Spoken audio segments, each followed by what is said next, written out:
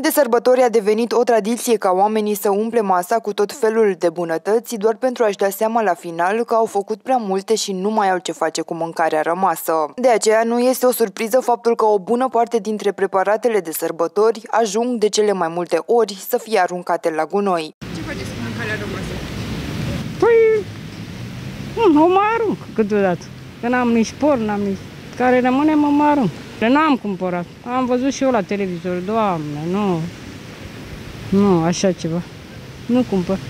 Nu cumpăr mult. În general, să știți că nu arunc mâncare. Uh, am părinții la, la țară uh, și așa, după sărbători, uh, devine utilă, știți? O mai combinăm cu alte mâncăruri, dar nu, nu arunc. Să știți, și în general gătesc cât, cât mănânc, cât mâncăm. Sunt doar eu și băiețelul și gătim cât mâncăm. Mai am și vecini care mai bătrâni, mai în vârstă, cărora le mai dau acum de sărbători, deci nu se aruncă. Nu se aruncă, sincer vă spun, îmi pare rău. Îmi pare rău de ea. E păcat. Nu e un lucru bun, numai că știți cum e, așa e românul.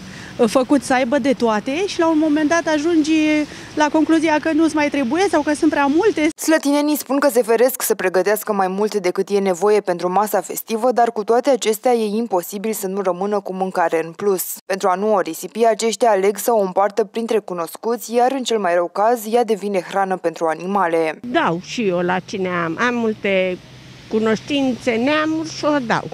Nu arunc. Și stăm la curte, mai avem și un cățeluș, mai avem și o pasăre și le dăm. Mare lucru nu mi-a rămas că fiind singură, n-am făcut prea multe.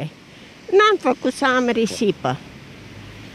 Deci am făcut cam cât îmi trebuie. Am împărțit la câteva case, după obicei, și atâta. Deci nu e de aruncat. E păcat să cumperi, să dai niște bani și apoi să arunci.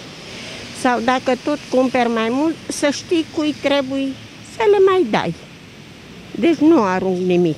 Noi luăm pentru două, trei zile și gata. Sunt alții care se aprovizionează pe două, trei luni, zice că... Oh, și după aia să strică și le aruncă. Noi ne luăm suficient cât trebuie. Băgăm în frigider, mâncăm treptat așa cât mâncăm.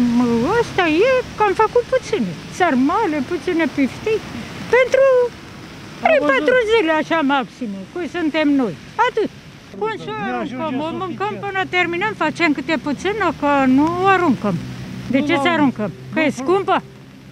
E scumpă mâncarea. Nu aruncăm, pregătim suficient cât să mâncăm de perioada sărbătorilor și nu gătim mai mult decât trebuie. Ar trebui gestionată mai bine, mai ales în perioada asta cu uh, criza asta, cu COVID-ul, cu perioada de pandemie. Cred că ar trebui cumpărat cât trebuie. Nu suntem de acord cu, cu chestia asta. Pentru mulți, sărbătorile înseamnă preparate tradiționale din belșug, iar cel mai important este ca oamenii să se bucure de ele împreună cu familia lor.